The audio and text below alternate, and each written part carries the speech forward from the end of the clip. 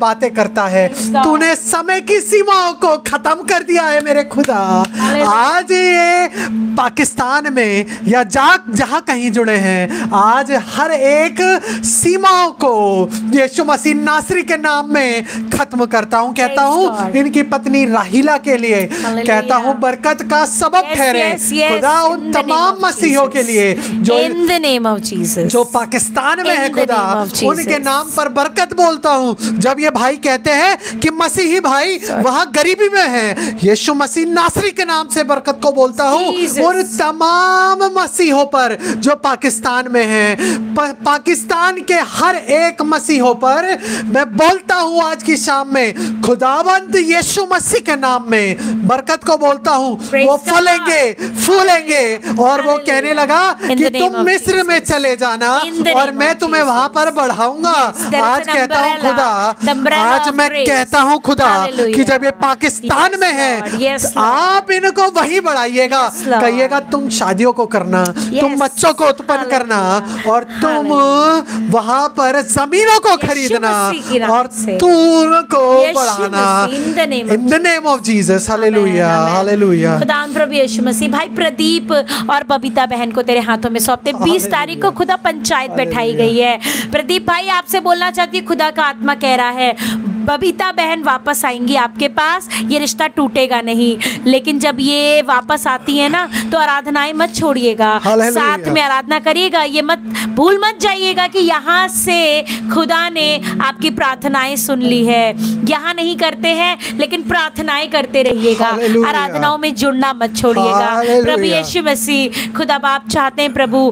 बहन बबीता प्रभु वापस लौट के भाई के पास आ जाए खुदा। प्रभु जब पंचायत बैठाई जाए खुदा फरिश्तों को यशु के नाम से आज्ञा देते हैं. कि उस पंचायत को जब चलाए तो खुदा फैसला भाई के हित में हो और बहन वापस लौट के आए। और ये तेरी महिमा के लिए इस्तेमाल हो। इस चैनल पे ये गवाही ठहरे। प्रभु यीशु के नाम से इस रिश्ते पे खुदा की मोहर को लगाते हैं। In the name of Jesus we say amen thank you hallelujah आज का वचन आपसे मुझसे ये कहता है जाति जाति में कहो यहोवा राजा हुआ है। अगर सोचते हैं ना कि मैं जितना कुछ कर रहा हूँ प्रभु के लिए बहुत है। तो आज आपसे कहना माँगता हूँ, अपने अपने घरों से निकलिएगा, अपनी कलिसियाओं से बाहर निकल के, लोगों के बीच में वो कहने लगा जाति जाति में कहो यहोवा राजा हुआ है। उसने मुकुट को धारण किया है और वो सफ़ेद घोड़े पर आता है और कहता है कि शाहों का शाह मेरा खुदा मेरा परमेश्वर मेरा यहोवा परमेश्वर है। वो कहने लगा और जगत ऐसा स्थिर है कि वह टल्ले का नहीं और वह देश देश के लोगों का न्याय खराई से करेगा। आज चाहता हूँ आपको प्रोत्साहित करना माँगता हूँ कि जितना परमेश्वर ने सिखाया है उतना सिखाना चालू करिए। जितना परमेश्वर ने दिया है उसमें से देना शुरू करिए। अपने लिए नहीं माँगता हूँ। कहता हूँ परमेश्वर का वचन आज से नहीं बल्कि यरमाया से कहता रहा यशाया से कहता रहा। क्या उचित उपवास ये नहीं कि तुम उन अनाथों गरीबों का ख्याल करो सुधी रखो। आज आपसे कहना माँगता हूँ परमेश्वर ने जितना दिया है उसमें से हाथ बढ़ाइए। लोगों के लिए प्रार्थनाएँ कीजिए। एक वक्त का किसी को खाना खिला दीजिए। किसी को अगर दिखे चप्पल नहीं है उसे पहना दीजिएगा। अगर लगे कि इनके इनके घर में किसी चीज़ की समस्या है परेशानी है अपने हाथ को बढ़ा दीजिएगा। दस बीस पचास जिससे मदद कर सकते हैं। करिएगा।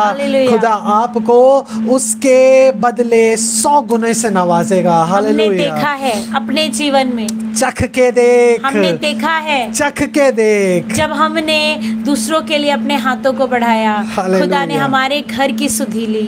हम हमारे घर में जब भी कोई आता है हम कभी भी उसको भूखा पेट नहीं जाने देते हैं। ये हम वी मेक श्योर कि वो जिस समय आए हैं जो हमारे पास बेस्ट है हम उसको ले जाते हैं। एक बार एक बहन के घर गई और वो बहन का बच्चा जो है वो जल्दी जल्दी अच्छी अच्छी खाने की चीज़ें छुपाने लग गया। वो कहने लग गया अरे लोग आ रहे थे तो मम्मी क्या करती हैं? चीज़ें छुपा देती हैं आने पे। हमने खुदा का हाथ उठा के धन्यवाद किया। ये तालीम हमने अपने बच्चे को नहीं दी। आपको एनकरेज करना चाहेंगे आप भी मत दीजिएगा। खुदा आपका घर खुदा का घर होना चाहिए। हमारे घर में कोई आता हमारा बच्चा बेस्ट ले आता है। ये लीजिए ये खाइए। ये दिल आपको पहले अपने अंदर रखना होगा और अपने बच्चे को देना